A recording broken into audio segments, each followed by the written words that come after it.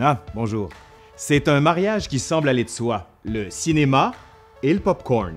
Let's all go to the lobby. Let's all go to the lobby. The popcorn is crispy and hot. Then others again have a terrible yen for a drink, then hits the spot. Go, go. Mais pour certaines personnes, quand on va au cinéma, il faut absolument passer par le comptoir des friandises où, aujourd'hui, on nous offre une diversité de plus en plus grande, en passant par le chocolat, les bonbons, la barbe à papa, les nachos et même les hot dogs. Bref, un résumé de la culture gastronomique américaine associée au grand divertissement populaire.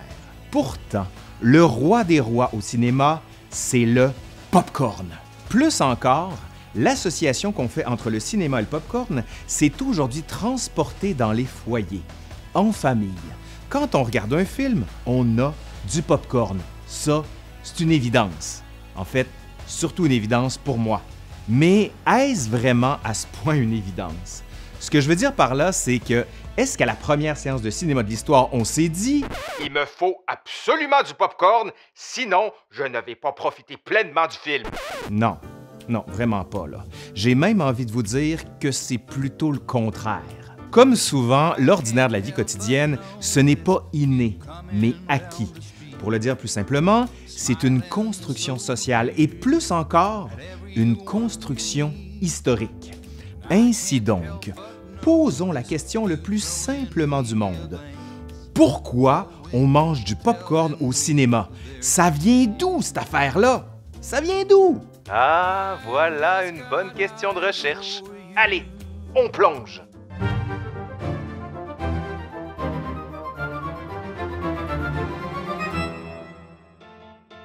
Le maïs a une très, très, très, très, très, très, très longue histoire. Je ne vais pas revenir là-dessus, là.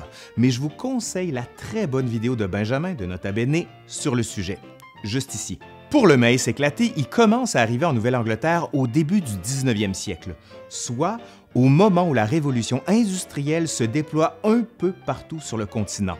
Les moyens de production amènent la mécanisation et bientôt la segmentation du travail. Parallèlement, toute une industrie du loisir commence à naître, notamment par les sports ou encore les jeux traditionnels. Ajoutons aussi les foires, les théâtres ainsi que les cirques et même les concerts de musique. Le popcorn gagne alors en popularité au point où, en 1848, le Dictionary of Americanism en parle. Le popcorn s'invite de plus en plus sur les lieux de loisirs, surtout les cirques et les foires.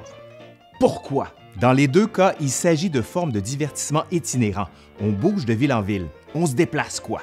Le grand avantage du popcorn, c'est que les machines pour le produire s'adaptent parfaitement à la nature mobile de ces divertissements. Pas besoin de cuisine, on peut en produire beaucoup.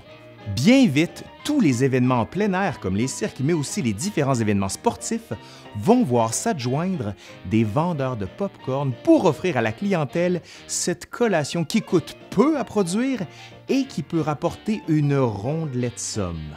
Le public est particulièrement friand du pop-corn parce que c'est bon, certes, mais aussi en raison du parfum qu'il dégage. Ben oui, vous savez, cette odeur particulièrement bonne du pop-corn qui éclate et qui embaume tout l'espace et qui vous envoie le message subliminal Tu dois avoir du pop-corn maintenant. Tu dois avoir du pop-corn maintenant. Tu dois avoir du popcorn maintenant, tu dois avoir du popcorn maintenant, tu dois avoir du popcorn maintenant. au tournant du 20e siècle, le pop-corn est bien implanté dans l'industrie du divertissement et la culture marchande de la société de consommation ne va faire qu'accélérer sa présence dans l'espace public.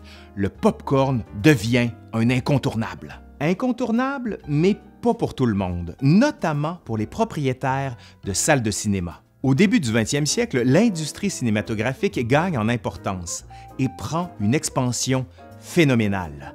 La popularité du cinéma est également assurée par les quelques 10 000 Nickelodeon aux États-Unis, appellation populaire pour les salles de projection au début des années 1910.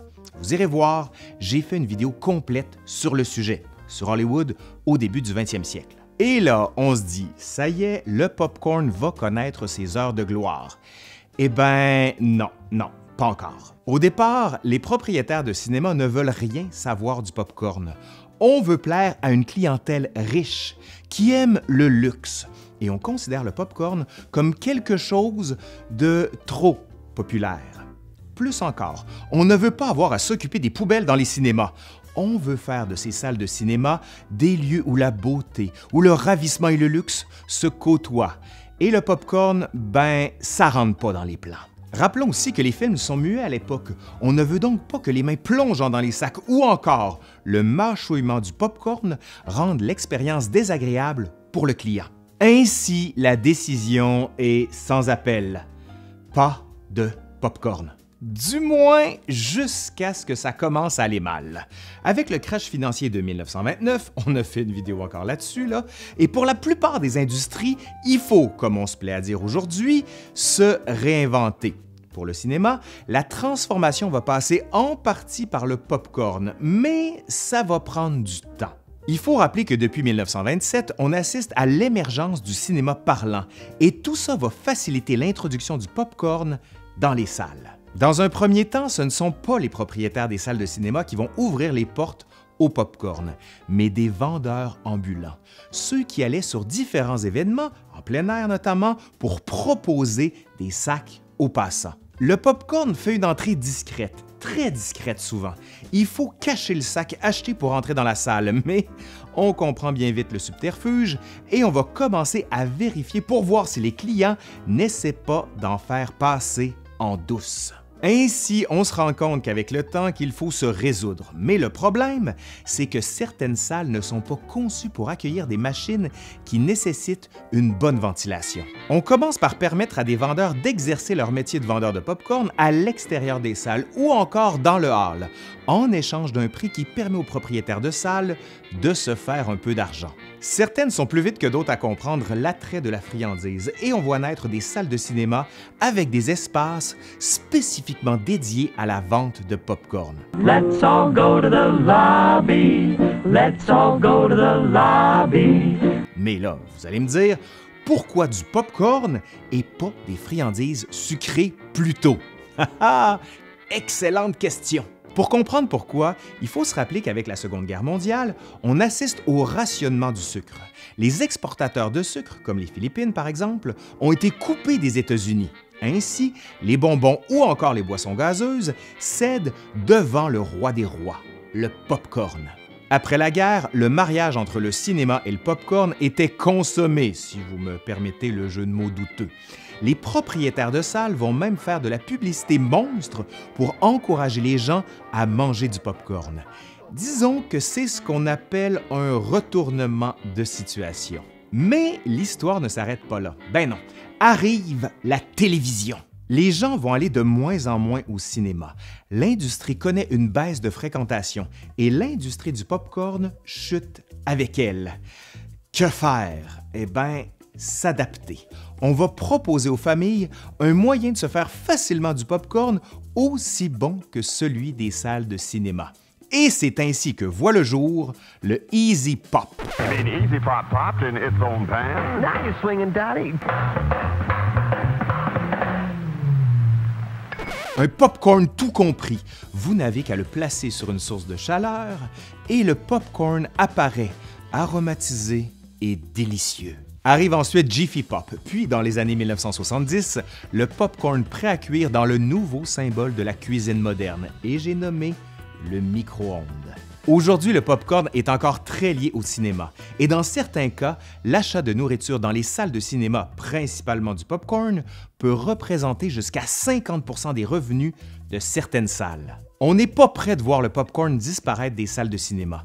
C'est quand même ironique quand on pense que les premiers entrepreneurs ne voulaient rien savoir, alors qu'aujourd'hui, c'est un revenu crucial à leur survie.